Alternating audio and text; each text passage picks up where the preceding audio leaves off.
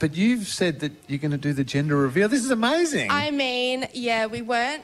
It was always going to be a surprise, but we did get it written down a month ago, just in the event we were going to find out um, if the opportunity arose. And I spoke to Jake after breakfast, and I was like, "We've got it in the car. Why don't we get these guys to announce it?" We're kind of thinking that we'll handball it to Lingy Yeah. so that he can, so that you can say Cameron Ling is What the a- one what a that- story, hey? Yeah, are you happy with Only that? if you're comfortable. I, I don't mind. I'm just. Do you I'm want to do it excited be here. together? It's his shout. Shout it out. Yeah, oh, go on. Oh, wow, Jake. All right. Good on you, Jake. Here we go. Congratulations.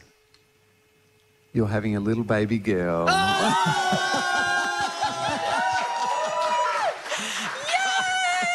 Hooray! Welcome to the two girl family.